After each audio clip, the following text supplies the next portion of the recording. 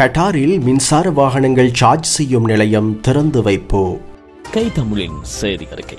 கட்டார் பொது மின்சாரம் நீர்வளங்கள் மற்றும் பொது போக்குவரத்து போன்ற மூன்று திணைக்களங்கள் ஒன்றிணைந்து மின்சார வாகனங்களை சார்ஜ் செய்யும் நிலையம் மதீனா கலிபாவில் திறந்து வைக்கப்பட்டது.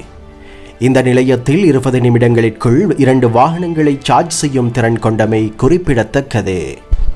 இது போன்று பல செய்திகளை தெரிந்து கொள்ள நமது ஸ்கை தமிழ் யூடியூப் சேனலை சப்ஸ்கிரைப் செய்து அருகில் உள்ள பெல் பட்டனை கிளிக் செய்யுங்கள். மேலும் பல செய்திகளை அறிந்து கொள்ள sky Tamil news dot com இணையதளத்தை பார்வையிடுங்கள்.